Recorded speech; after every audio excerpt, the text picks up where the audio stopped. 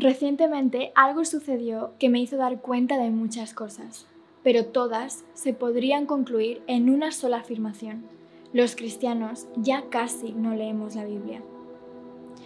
No sabemos versículos de memoria, repetimos que, lo que escuchamos afirmar al pastor, leemos libros, escuchamos a predicadores en YouTube, leemos los versículos del día que nos envía el app de la Biblia, pero leerla como tal, día a día, estudiarla, preguntar dudas, leer capítulos enteros, libros enteros y meditar en ella día y noche, eso ya no lo hacemos. Y este tan terrible hecho solo nos ha llevado a un final tremendamente triste. Nos hemos convertido en robots que no piensan por sí solos, que tienen miedo a dudar, que no se preguntan las cosas, que no las resuelven, que no las cuestionan o reflexionan y sobre todo que las malinterpretan y caen en una doctrina que los enferma. Y no solo que los enferma a ellos, sino que es contagiosa y va contagiando a miles de personas que al final se terminan asustando y yendo de la iglesia. Porque solo un evangelio sano sana, pero cuando está corrompido y malinterpretado, enferma. Hace poco, en uno de mis vídeos sobre tatuajes, hice una afirmación que la gente al escucharla se indignó y su odio se dejó ver claramente. La afirmación fue, ya no vivimos bajo la ley de Moisés. Quiero explicar esta frase, porque muchos cristianos dicen, no estoy de acuerdo contigo, pero es que no es una cosa de estar de acuerdo o no, no es una conclusión a la que yo he llegado o me he inventado, es una verdad, es así y punto. Si no fuera así, entonces la muerte y resurrección de Jesús perdería todo su peso, sentido y valor. Y te voy a explicar por qué. La Biblia está dividida en Antiguo y Nuevo Testamento. El Antiguo es toda la historia del pueblo de Dios antes de la venida de Jesús, y el Nuevo contiene el nacimiento, vida y muerte de Jesús y también los hechos que le siguieron durante la primera generación de cristianos, así como el establecimiento de los fundamentos doctrinales de la Iglesia.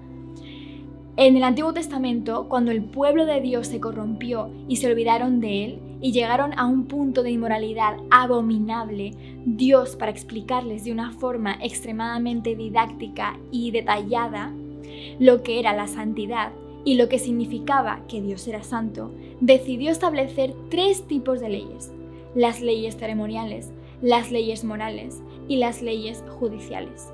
Y entre todas suman 613 leyes. Y somos humanos.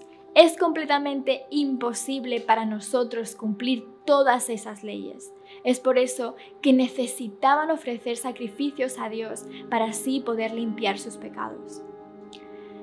Pero Dios tenía un plan mayor, un sacrificio que acabaría con todos los sacrificios de una vez por todas, el último sacrificio, y se llamó Jesús, su Hijo. Con su muerte y resurrección fuimos limpiados, porque Él cumplió la ley y nosotros, que no la podemos cumplir, a través de Él somos justificados y no condenados.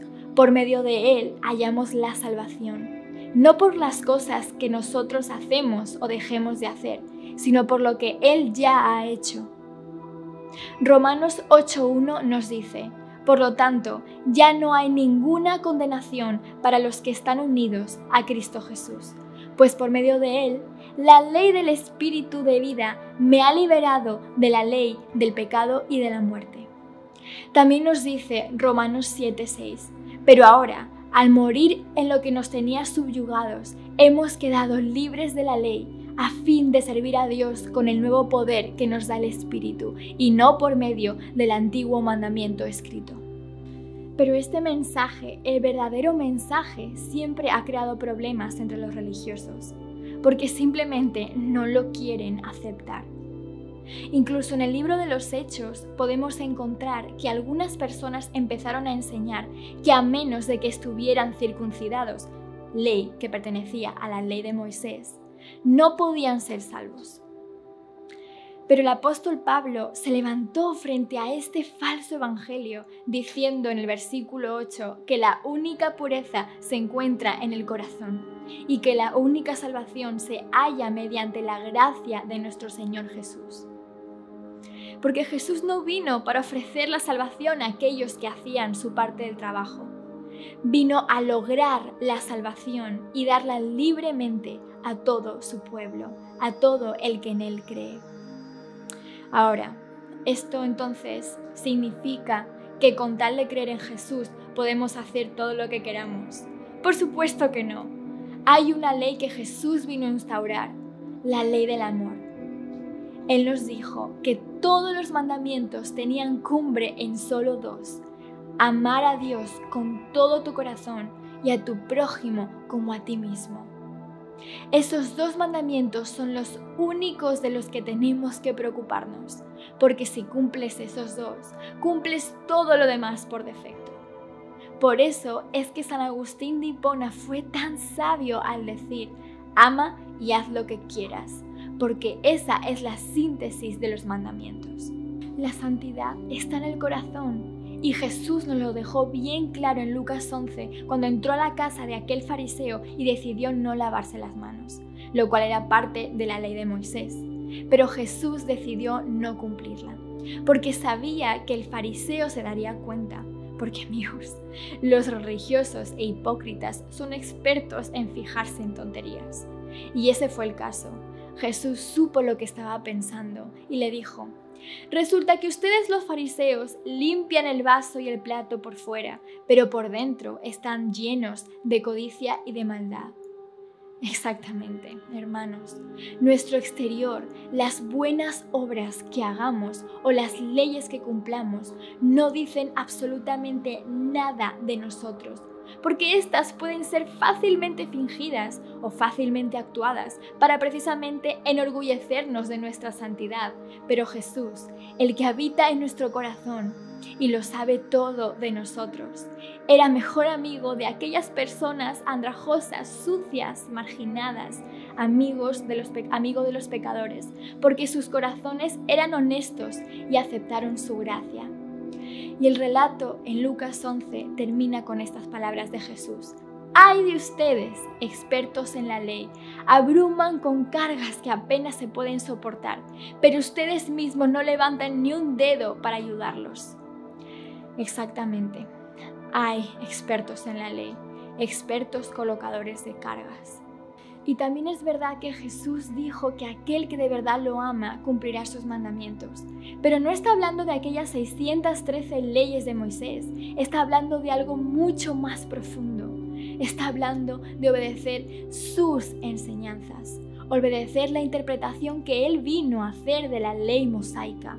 Jesús va más allá de la literalidad y esto lo podemos ver claramente cuando nos dijo, oísteis que fue dicho en la ley, no matarás, mas yo os digo que cualquiera que se enoje o que insulte quedará sujeto al juicio. Oísteis que fue dicho en la ley de Moisés, no cometerás adulterio, mas yo os digo que cualquiera que mira a una mujer y la codicie ya ha cometido adulterio en el corazón. Oísteis que fue dicho, ojo por ojo y diente por diente. Mas yo les digo, no, resistáis a aquel que es malo. Si te hieren en una mejilla, da la otra también. Oísteis que fue dicho, ama a tu amigo y odia a tu enemigo. Mas yo les digo, ama a tus enemigos y ora por quien te persigue. Jesús siempre fue más allá. Jesús apuntó a lo que hay en nuestro corazón, porque es ahí donde se encuentra la verdadera santidad y eso solo lo puede ver Dios. Así que dejémosle el trabajo de determinar si alguien vive en santidad o no a Dios, que es el único que tiene la autoridad. Nosotros, por otro lado, ocupémonos de las cosas realmente importantes, de amar a Dios con todo nuestro corazón y a nuestro prójimo como, como nosotros mismos, y de predicar el Evangelio a nuestro alrededor, pero el Evangelio sano que sana, el Evangelio del perdón, del amor, de la justicia y de la gracia, el único verdadero Evangelio, el Evangelio de Jesús. Y este solo podemos conocerle realmente a través de la Biblia, a través de su palabra. Así que todo esto solo ha sido para llegar a una poderosa conclusión necesitamos desesperadamente leer más la Biblia.